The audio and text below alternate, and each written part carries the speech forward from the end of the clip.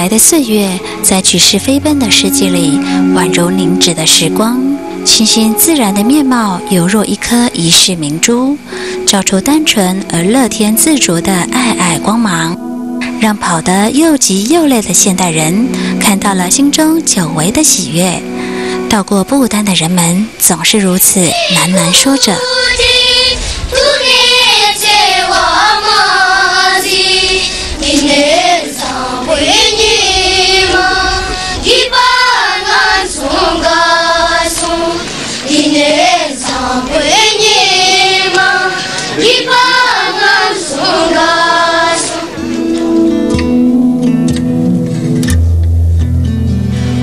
寺完建于一六九四年，曾历大火重损，而后于一九九八年修建，已是独立在帕罗塔克山，海拔约三千三百尺、几近垂直的悬崖壁上，是莲花生大士在不丹闭关修行的遗址。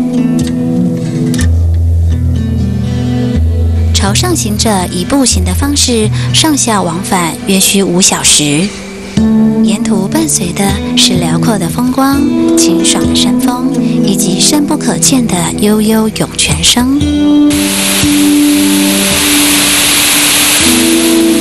当莲花生大士圆满了西藏度化的因缘，遇见了末世险恶，佛法遇难，佛典进行。在这样的形势下，为了不使佛法灭绝，遂将佛像、经典保存在岩洞。虎穴之中，作为福藏。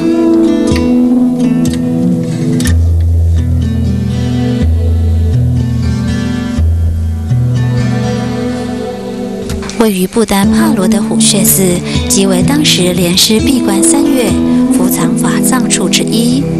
这里可说是佛教初传不丹的起始点。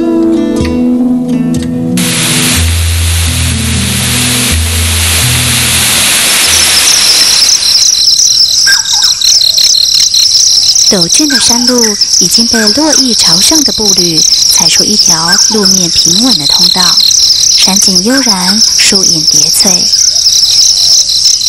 日光穿透树梢宝盖，照亮丰沛水汽滋养出的簇簇鲜绿苔影。挥汗走着。我们终于在一个简单的茶水站前，远远望见险居于悬山的虎穴寺。略作休息后，提起脚步再出发。接下来的是更为精辟的路程。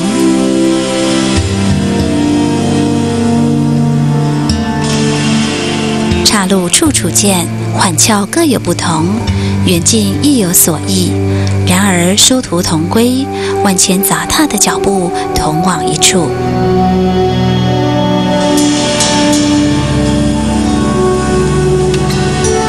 穿过嶙峋山路，虎穴寺看似近在眼前，但在脚下的还得要先下了七百层石阶，再爬上七百层石阶，才能真正入得门内。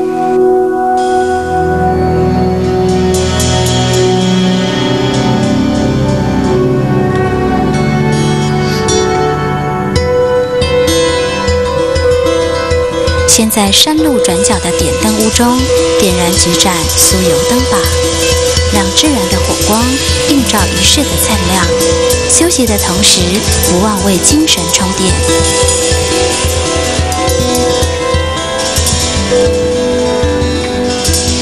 风马旗在空中浮动着五彩斑斓，迈步走下七百层阶梯后，一道飞瀑如丝绢般从上而落。遒劲的力道转动桥边的水转经轮，清冽的泉水带着加持祝愿，沿着山坳往山下奔腾而去。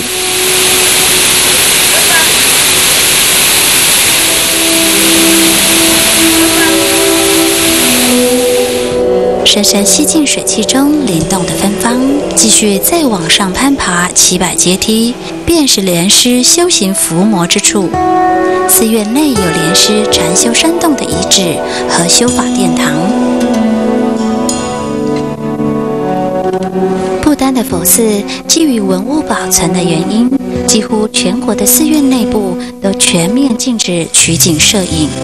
尽管无法留下古老寺院内珍贵的法像、精致的图绘壁画，但仔细体会，不丹处处何尝不是诸佛菩萨的净法身？山间飞腾的又何处不是法音？朝圣的心在佛国净土，犹如一泓涌泉，尽收天的亮度，地的丰盛。